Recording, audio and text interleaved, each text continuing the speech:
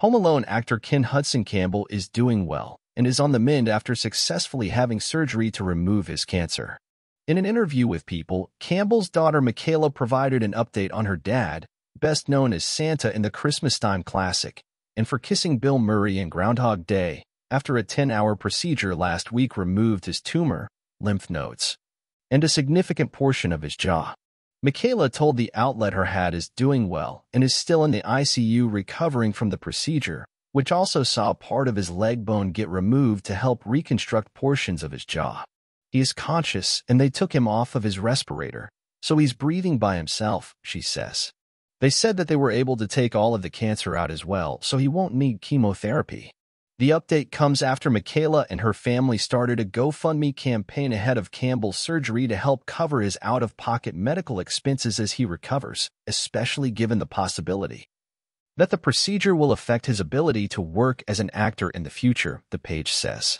Famous pals like Steve Carell, Jeff Garlin, and Tim Meadows contributed to the campaign, with Carell, a fellow Second City alum, posting, Love you, Ken.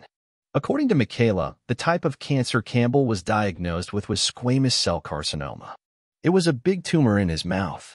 The last two years he's gotten lots of biopsies done, and they've tried to control it.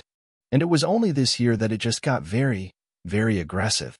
So when he got his biopsy in October, that is when we got the diagnosis, she explained. Now that the surgery is complete, Campbell will start radiation treatment five days a week before entering a six-month recovery period. I think the hardest part of this is going to be him losing his speech and his ability to talk. So speech therapy is going to play a big role in it, Michaela said, adding, We're kind of playing it one step at a time, depending on how debilitated he is.